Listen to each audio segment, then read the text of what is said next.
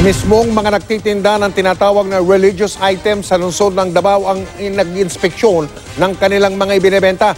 Yan ay para matiyak na hindi nahaluwa ng mga tinatawag na satanic rosary. Samantalang sa Cebu naman, sinunog ang mga naturang rosaryo na ayon sa simbahang katoliko ay may sumpa ng demonyo. Nakatutok si Marin Sumali. Sa apoy nagtapos ang mga sinasabing satanic rosary na isinuko ng ilang katolikong nakatanggap nito. Kasama sinunog, ilang umano'y pampaswerte. Sinunog ang mga yan matapos ilathala sa website ng Catholic Bishops Conference of the Philippines ang babala tungkol sa paglipa na raw ng mga satanic rosary. Sa Mary's Little Children Community, maraming beses na nga raw may mga taong pumunta sa kanilang center para magpa-counseling at ibigay ang kanilang satanic rosary. Ang mga sinasabing satanic rosary, imbis na inri ang mga letrang nasa ibabaw ng krus ng rosaryo, ang nakalagay ay araw. May ukit din daw ito ng mga tinik at ahas sa likod ng katawan ni Kristo. Pero sinadya raw na gawing luminous ang satanic rosary para di raw mahalata ang kaibahan nito sa totoong mga rosaryo.